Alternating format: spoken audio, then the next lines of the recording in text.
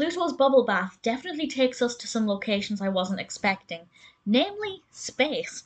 This is a pretty cute episode. It's the 13th episode of the second season of Mickey Mouse Clubhouse. 13 is my lucky number. Did this episode deliver? I thought it was quite cute and pretty good fun. In this one, Pluto is getting a bubble bath because he's been playing in the mud, but they're having a tea and biscuits and dog biscuits party. Clarabelle and her dog Bella are coming over for this party, but Pluto's a bit of a mucky pup.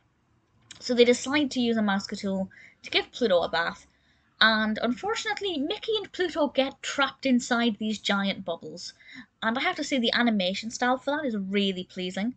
I really like the way they did that animation, I think it's very effective. Unrealistic, but a lot of fun. And they do float away and they meet all different kinds of people on their journey. There's a really lovely moment where Pete is playing with Butch. Um, I think he's playing in a sandpit, and I thought that, that was absolutely adorable. And although Butch is a little bit of an antagonist sometimes, I do have a soft spot for that character.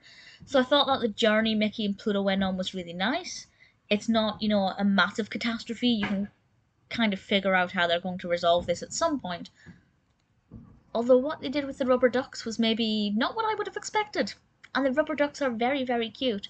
It's a really sweet episode basically all of the characters in it, except from I think Ludwig von Drake. The animation style is really pleasing. Pluto looks very, very cute. It's not my favourite episode of all time, and was Donald in it? Actually, now I'm asking myself that question out loud. Was Donald Duck in this? If he was, he wasn't prevalent. But either way, I don't think he was. Either way, Pluto's bubble bath is quite cute and a lot of fun.